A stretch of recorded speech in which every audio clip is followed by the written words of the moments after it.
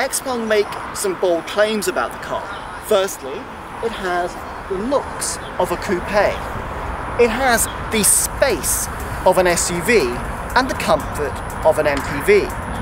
Possibly you can see behind me an advert from Xpeng which claim that this car can fit inside it 33 20-inch suitcases. Well, we're not going to try that today, but let's try to see how actually this car does perform, particularly when it comes to its self-driving ability.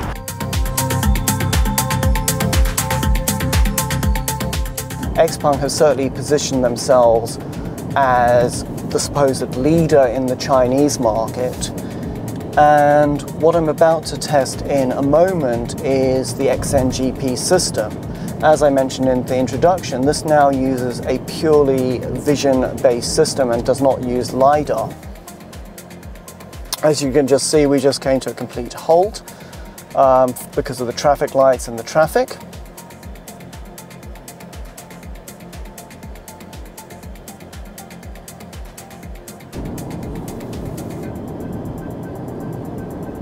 One thing I noticed just now as we accelerated from the traffic lights that the actual acceleration is relatively gentle compared with what I might expect if I were driving myself.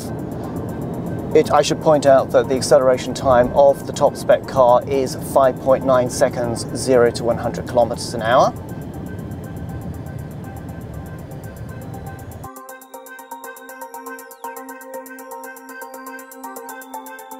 As I mentioned at the beginning of the video, Xpeng are claiming that this has SUV levels of space. Does it? Well, for the boot space, there is 725 litres of space available. When you put the seats down, that expands to 2,221 litres. That is certainly a lot of space.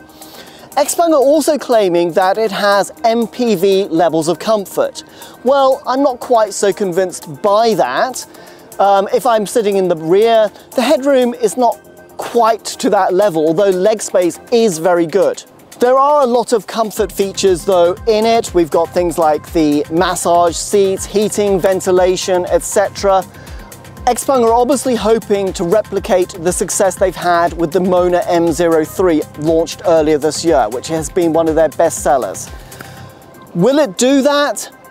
Well, time will tell, but there is certainly a lot going for this package.